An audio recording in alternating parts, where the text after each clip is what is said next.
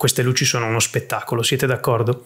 Amici, sono qui oggi a farvi un contenuto su un argomento che mi è stato richiesto da più di una persona, la compensazione dell'esposizione sulle nostre fotocamere. Bene, avrete sicuramente notato che sto facendo dei giochi nello studio, sto provando ad alternare delle luci un pochettino diverse, quindi è possibile che nei prossimi video ci sarà qualcosa di diverso perché sto affinando con delle situazioni nuove che si sono sbloccate, quindi state sintonizzati perché ne vedremo delle belle. Colgo l'occasione per ricordarvi che se non siete ancora iscritti al canale vi consiglio consiglio di farlo subito in maniera tale che non ve lo dimentichiate e che non vi perdiate contenuti di interesse per voi che possono essere questo e tanti altri che si succederanno nel corso dei giorni. Ma andiamo subito al nocciolo della questione. Più di una persona in questi giorni mi ha chiesto come funziona la compensazione dell'esposizione oppure mi avete fatto delle domande anche molto specifiche, ma se io uso la compensazione dell'esposizione per fare questa cosa cosa succede? Bene, oggi vado a fare un contenuto per farvi vedere come funziona questa compensazione dell'esposizione perché mi è sembrato di capire che c'è un bel po' di confusione a riguardo. Comincio subito col dirvi una cosa, la compensazione dell'esposizione funziona solamente nelle modalità automatiche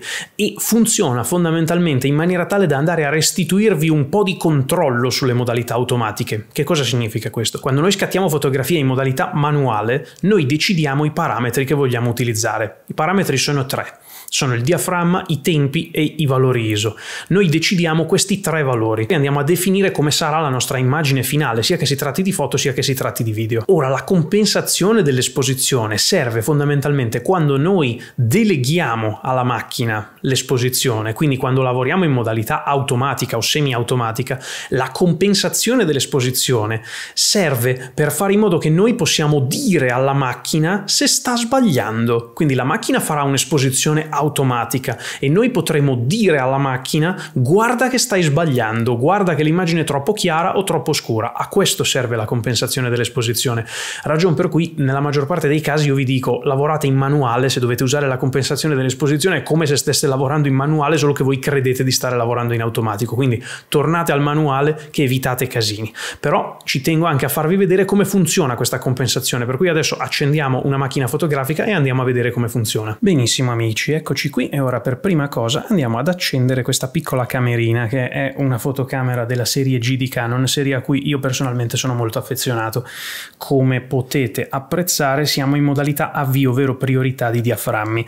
Adesso guardate che cosa succede nel momento in cui stiamo andando a utilizzare la macchina in questa modalità. Vedete che lei fa un'esposizione automatica, per cui abbiamo un valore ISO spropositato. Chissà cosa stavo facendo l'altra volta, adesso lo abbassiamo. Ok, vedete che con questi valori, quindi 320 ISO f2.8 lui mi dà un valore di un sessantesimo. In pratica questa è una modalità automatica in cui la macchina determina i tempi in base agli altri due parametri, lo fa in automatico. Infatti vedete che se io vado a modificare questo parametro adesso non mi darà più un sessantesimo ma mi darà un duecentesimo ma vedete che l'esposizione non è cambiata la macchina mantiene sempre la stessa esposizione e mi va a variare il parametro del tempo nel momento in cui mettiamo priorità di tempi, TV, nel momento in cui mettiamo quest'altra impostazione, vedete che sono i tempi a essere fissi e la macchina va a darci un diaframma diverso, però di nuovo vedete che l'esposizione non cambia, rimane sempre stabile. Giusto per farvi capire, se io invece andassi a mettere manuale, vedete che nel momento in cui siamo in manuale Adesso se io modifico uno dei parametri vedete che l'esposizione cambia e anche di tanto, quindi è solamente in manuale che noi possiamo veramente avere pieno controllo sull'esposizione e su tutti e tre i parametri. Nel momento in cui siamo in priorità di diaframmi avremo i diaframmi che saranno la nostra scelta, avremo la possibilità di modificare i diaframmi e di modificare gli ISO e in base a questi due valori la macchina ci darà i tempi. Se passiamo in priorità di tempi noi potremmo stabilire di nuovo gli ISO e i tempi e la macchina ci darà i valori di diaframma. Quindi sostanzialmente nelle modalità automatiche o semi-automatiche abbiamo sempre l'esposizione corretta perché la macchina provvede ad adeguare uno dei parametri in maniera tale da darci l'esposizione migliore. Ora, come viene determinata questa esposizione? Ebbene, se noi entriamo in questo menu, vedete che qui abbiamo i metering modes su cui ho fatto un video di recente che vi consiglio di andare a recuperare perché ne parlo in maniera molto più esaustiva.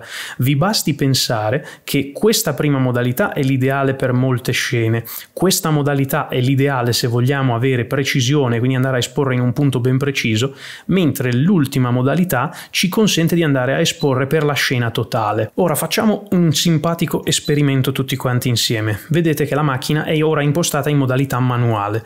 L'esposizione è corretta, guardate che cosa succede nel momento in cui io vado a introdurre del nero. Vedete l'istogramma? Fondamentalmente si è tutto spostato sui neri. Se io lo tolgo, vedete che l'istogramma torna a occupare i mezzi toni, quindi un'esposizione corretta. Di nuovo io vado a riempire di nero e vedete l'istogramma che si sposta tutto a sinistra. Ma la nostra esposizione non viene modificata, vedete che quello che è nero rimane nero. L'esposizione è fissa, i parametri non cambiano perché sono in modalità manuale. Se voglio esporre in maniera diversa quel nero, devo essere io ad aumentare i valori di quello che voglio e a questo punto il mio nero non sarà più nero pieno ma sarà visibile e di nuovo vedete che abbiamo i neri equamente distribuiti. Ora, torniamo alla nostra esposizione di prima. Che cosa succederebbe se noi fossimo in priorità di diaframmi? Succede che proprio come prima abbiamo in questo momento un'esposizione corretta. Guardate cosa succede nel momento in cui introduciamo del nero. Succede che proprio come prima abbiamo in questo momento un'esposizione corretta. Guardate cosa succede appena introduciamo del nero. Tenete d'occhio i parametri. Avete visto? Prima avevamo un trentesimo e poi siamo passati a un sesto.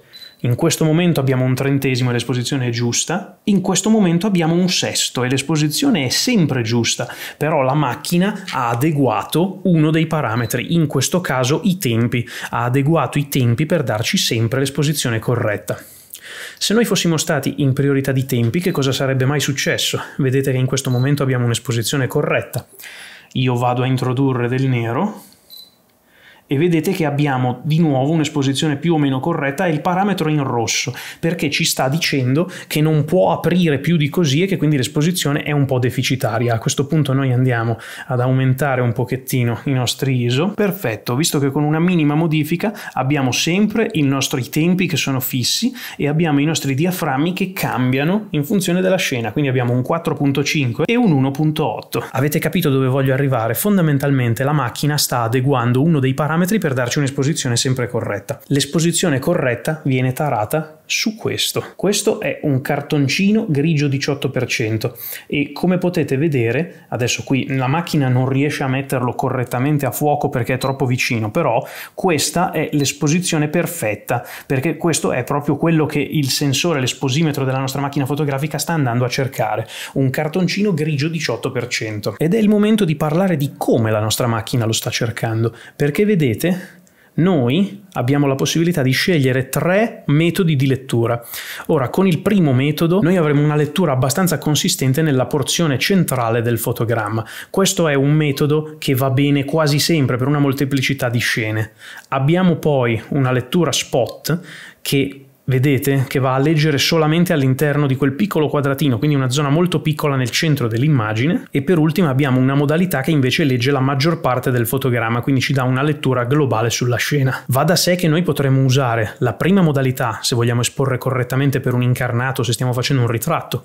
Potremmo usare la seconda modalità se stiamo facendo qualcosa di difficile, come per esempio se stiamo facendo una foto alla luna e vogliamo l'esposizione perfetta della luna con un puntino bianco nel centro e tanto nero intorno e potremmo usare la terza modalità se stiamo facendo un paesaggio. La selezione di questo metodo ci darà dei risultati diversi sulla nostra misurazione nel momento in cui lavoriamo in modalità automatica o semi-automatica. Ora il punto a cui voglio arrivare qual è?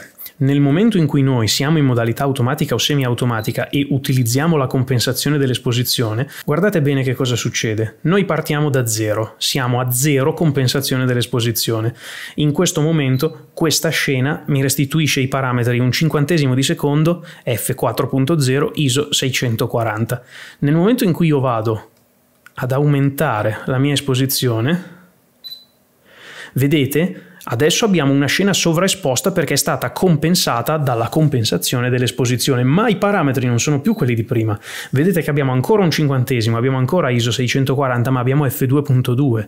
Quindi la compensazione dell'esposizione ha aperto il diaframma. Ora lo rimetto a zero. Ovviamente se io facessi il contrario, se io andassi a scendere con la compensazione dell'esposizione, qui avremmo un cinquantesimo ISO 640 ma f7.1 quindi qui sono andato a chiudere il diaframma e torniamo di nuovo a zero. Ovviamente stiamo lavorando in priorità di tempi. Che cosa succederebbe se stessimo lavorando in priorità di diaframmi? Andiamo in priorità di diaframmi e scopriamolo. In questo momento siamo a zero di compensazione dell'esposizione. Nel momento in cui la aumentiamo, vedete che non è più un cinquantesimo di secondo, ma adesso è un venticinquesimo. Quindi di nuovo io sto mantenendo l'ISO e il diaframma, ma sto cambiando i tempi. Esattamente allo stesso modo se io andassi a scendere Vedete che adesso ho un 250 mentre gli altri due parametri rimangono stabili. Questo che cosa ci dice? La compensazione dell'esposizione serve sì a variare l'esposizione, ma lo fa modificando uno dei tre parametri. Quindi pensare di utilizzare la compensazione dell'esposizione è un po' come pensare di lavorare in manuale. Semplicemente stiamo delegando i parametri alla macchina e poi le stiamo dicendo di compensarli per ripristinare un'esposizione corretta. Personalmente preferisco lavorare in maniera manuale piuttosto che ricorrere a questo sotterfugio perché fondamentalmente la macchina sta facendo di testa sua e io sto cercando di compensare ma non, non ho più sotto mano i parametri, non sono più sicuro di quello che le sto facendo fare. Quindi personalmente io vi consiglio di lavorare in manuale a meno che non sia un caso particolare, una scena che magari varia di continuo ma voi avete stabilito che tirando indietro la compensazione dell'esposizione riuscite sempre a matchare questo parametro che varia, però è vero anche che se ci riuscite con la compensazione ci riuscite anche in modalità manuale, quindi il mio consiglio rimane quello di lavorare in modalità manuale il più spesso possibile tutte le volte che possiamo. Ovviamente dipende anche dal tipo di scena che stiamo andando a leggere e proviamo a fare un simpatico esperimento. Adesso noi andremo a prendere una lettura semplicemente in questa maniera e abbiamo un sessantesimo f3.5 ISO 640. Siamo in priorità di diaframmi, quindi quello che cambierà saranno i tempi. Ora noi stiamo usando il primo metodo di lettura, quindi andiamo a vedere che cosa succede nel momento in cui io introduco il mio cartoncino. Vedete che cambia molto poco, nel senso che abbiamo un cinquantesimo di secondo, quindi la compensazione dell'esposimetro della mia fotocamera è stata molto bassa, siamo passati da un sessantesimo, cambia veramente molto poco e stiamo dando una lettura nella porzione centrale. Adesso andiamo a vedere che cosa succederebbe se noi utilizzassimo la lettura spot e vedete che la lettura è completamente diversa, ci sta lasciando ISO 640 f3.5 ma ci sta dando un 125 e lo sapete perché? Perché sta leggendo questo quadratino giallo proprio nel mezzo e sta facendo l'esposizione solo sul quadratino giallo invece che su tutta la porzione centrale. Con questo metodo vedete che l'esposizione torna a un cinquantesimo di secondo perché sta leggendo anche del nero, sta leggendo anche altri colori, mentre in questo modo sta leggendo solamente il giallo e quindi l'esposizione è diversa. Andiamo a vedere che cosa succede se gli facciamo leggere l'intera scena vedete un quarantesimo perché adesso sta leggendo tanto nero tutto intorno, quindi capite bene che a seconda del metodo di lettura che andiamo a impostare e a seconda della modalità di esposizione che andiamo a impostare avremo dei risultati nettamente diversi. Ovviamente la compensazione dell'esposizione funziona, è un metodo assolutamente valido, però ci lascia in balia dell'automatismo della macchina. Guardate perché, guardate che cosa succede. Noi in questo momento abbiamo un sessantesimo. Guardate cosa succede se mi sposto. Un centesimo. Guardate cosa succede se mi sposto. Un sessantesimo. Guardate cosa succede se mi sposto. Un centosessantesimo. Capite? Nel momento in cui usiamo la compensazione dell'esposizione con le modalità automatiche o semiautomatiche siamo completamente in balia dei capricci dell'esposimetro interno della nostra macchina e ogni minimo cambio di scena determinerà un cambiamento consistente dell'esposizione. Al contrario, se lavoriamo in modalità manuale non avremo nessun cambiamento, l'esposizione rimarrà costante così così come noi l'abbiamo impostata. Questo è il motivo per cui io vi spiego come funziona questo metodo, ma francamente vi consiglio di lavorare in manuale. Bene amici, come avete potuto vedere non è niente di estremamente complicato, è un meccanismo abbastanza semplice che serve, come detto, a restituirci un po' di controllo su quello che la macchina sta pensando. La macchina ha una serie di, chiamiamole, scene precaricate e si basa su queste per cercare di determinare che tipo di foto stiamo facendo e quindi andrà a cercare di esporre per il meglio. Però essendo una macchina macchina. E quindi non avendo gli occhi come ce li abbiamo noi e non avendo una testa che pensa come ce l'abbiamo noi, è un simulatore, però eh, non, non può prendere una decisione, può soltanto statisticamente stabilire qual è l'esposizione corretta per la macchina, però noi magari vogliamo fare esattamente il contrario, quindi il mio primo consiglio è lavorate in manuale, così avete pieno controllo su tutti i parametri. Se proprio volete usare la compensazione dell'esposizione, usatela sapendo che interviene sui valori, quindi non, non, potete pensare di dire io imposto certi parametri, poi gioco con la compensazione dell'esposizione, i parametri restano gli stessi ma la foto cambia, no, non è così, ti sta cambiando i parametri. E che parametri ti cambia dipende da come stiamo lavorando, in certi casi ti può cambiare i tempi, in certi casi ti può cambiare i diaframmi, in certi casi ti può cambiare gli ISO, a seconda di come hai impostato la macchina, però una cosa è sicura, per modificare l'esposizione, la compensazione dell'esposizione ti va a cambiare un parametro e quindi a quel punto tanto vale cambiarcelo noi e andare a lavorare in manuale. Questa è la mia idea, fatemi sapere in un commento che cosa ne pensate, se lavorate in maniera totalmente diversa, se preferite delegare alla macchina, se la vostra macchina vi soddisfa, se avete delle esposizioni fatte in automatico che vengono sempre bene, quindi non avete bisogno di lavorare in manuale, parliamone nei commenti. Vi ricordo anche che spesso e volentieri io rispondo con degli shorts, per cui se vi iscrivete adesso al canale non rischiate di perdervi l'eventuale risposta a un vostro commento che potrei pubblicare nei prossimi giorni successivi all'uscita di questo video. Signori, è stato un piacere passare un po' del mio tempo con voi e io vi do appuntamento al prossimo video.